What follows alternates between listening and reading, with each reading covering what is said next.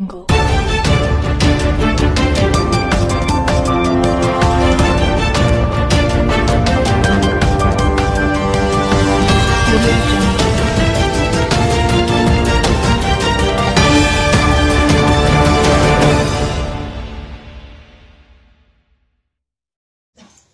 सौ number phone किया था? जी सर। कितनी बार फ़ोन किया? ऐसे करीबन दो तीन बार फ़ोन किया। अच्छा, क्या दिक्कत है?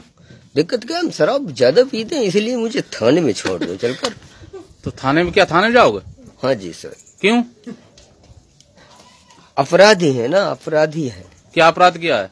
अपराध कुछ नहीं कि बस मदिरा ही मदिरा का ही सेवन करते हैं। तो थाने में क्या मतलब है उसका फिर? अपने घर पे रहो ना फिर। सर चले जाएँगे वहाँ छूट जाएगी।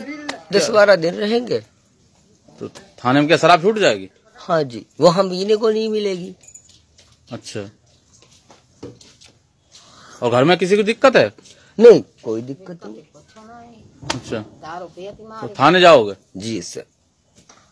थाने में शराब छूट जाएगी? हाँ जी वहाँ पीने को मिलेगी नहीं नहीं। अच्छा। हाँ जी। वहाँ ऑफिसर लोग रहते हैं ऑफिसर। अच्छा। तो फ़ोन कितनी बार फ़ोन किया तुमने सौ नंबर पे? मैंने तीन बार कॉल की। तीन बार? जी।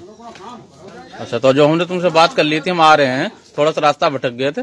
चलो कोई बात नहीं सर। और दूर भी है दस बारह किलोमीटर? बारह किलो हाँ फुल बार। हाँ जी फुल टाइम लगता है आने में। फिर दो तीन जब हमने कह दिया हम आ रहे हैं फिर तुमने दो तीन बार फ़ोन क्यों करिए?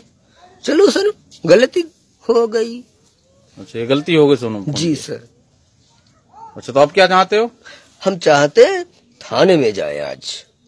अच्छा थाने ले चले तुम जी सर। वहीं ही रहेंगे बस दस बारह दिन।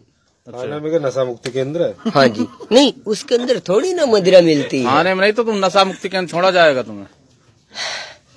नहीं मिलेगी ही नहीं। चलो ठीक है।